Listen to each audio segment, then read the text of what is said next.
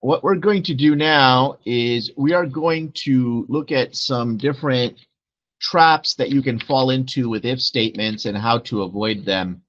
So I'm going to ask you to take your uh, uh, program here and create a new method. We're going to call this method public static uh, all seven.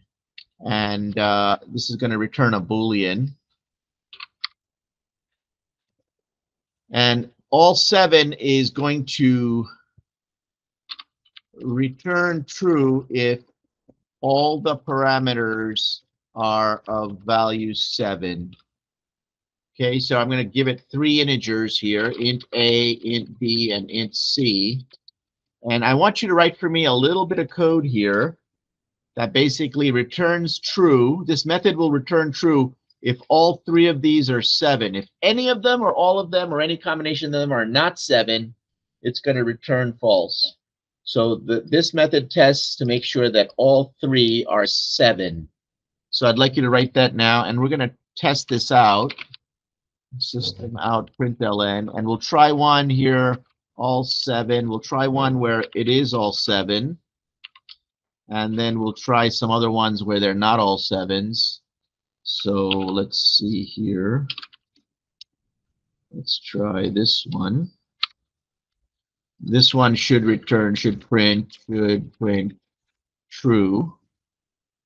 And these should all print false. Sir, that works in math class, but it does not work in computer science because what's going to happen here, sir, is that this part will evaluate to true or false. And then you'll have C here, which is a number, and then a, a Boolean on the other side. So we have to basically test each one independently so, to see if it's equal to seven. How do I do that, sir? The easier way would just be this way. And if this is the case, what do we return, Mr. Mason? And what do we return otherwise? Okay, so this is, you agree, I think, one way to do this, right? Let's run this program here, and we should get a true and then three falses. And you can see that it worked fine. I'm going to show you another way to write this now, which may not occur to you right away. I'm going to write it like this. And what I want to know is, will this work? It will work. Let's try it out. And you can see this also works. Now, I think you'll agree with me that the first way, the way that Mr. Mason and I did it together, is probably a shorter way to write it and it's easier. But I want you to keep this idea in mind for some of the other problems we're going to look at today. So the next one we're going to do is I'm going to change this method name and I'm going to call it bigger. And I'm going to pass it two parameters and I'm going to say it returns the bigger one. And I'm going to try, I'd like you to write this bigger method for me now. Oh, I'm sorry, this should say int here. What do I put over here? Or I could do else, or I, I don't even need the else. I could put it there. What do I return otherwise, miss? Okay, so that would be a good way to write it. So let's run this. And you can see that it works fine. Let me just put the code on the answers side by side so you can see. You can see that 8 is bigger, 10 is bigger, and here we have a tie, so it doesn't matter which one we print. So that's good. Now we're going to make this a little bit harder now, and I'm going to change the name of it to be biggest. And this time I'm going to add another one like that. So here I should print the 11, here should print the 10, here should print, print the 18. Of course, we need to change this code a little bit here. Okay, Mr. Uh, Manet, sir, do you have any uh, idea what to do for the starter for this code? And then we'd need a bunch more of these. Would you agree, sir? Okay, uh, so just give me one other. I, I, am not asking you to write the whole thing for me, just but just give me one other one. Uh,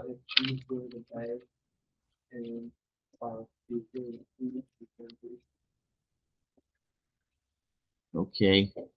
And uh, how many of these things will we need? Uh, Is it just three? Let me put it to you another way. Let's say that instead of having this, I had this. do you agree that your strategy for writing compound if statements is rapidly getting out of hand? You agree with that, right? So I need to give you another way to think about if statements besides what uh, Mr. Uh, Monet suggested, because I'm guessing most of you are thinking that way because you're just starting to learn if statements now. But there's a much simpler way to solve this problem. And I'd like you to take a couple of minutes and see if you can figure out what it is by discussing it with your partners. Has anyone figured it out? When I started my lesson today, I said consider individual if statements instead of making them compound. So I'm going to give you a huge hint here. See if you can figure it out now from the hints how to write this code relatively easily to find out which one is the biggest. Can you see that by decoupling the if statements from one another and avoiding having compound clauses, I'm able to look at these things one at a time? Now, I need to explain to you something about this, this weird thing why you were having such a mental block here.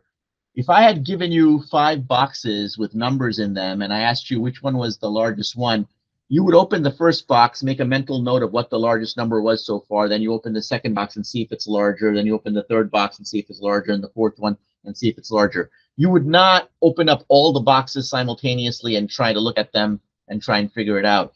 But for some reason, when you try to do it in computer science, that's the first thing your brain goes to is just because you've learned these and and or statements and if statements, and you want to couple them all together.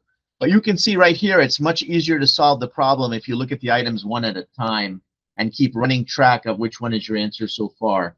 So don't forget this strategy when you're looking at uh, ways to solve problems on the AP exam for the FRQ or in real life or whatever.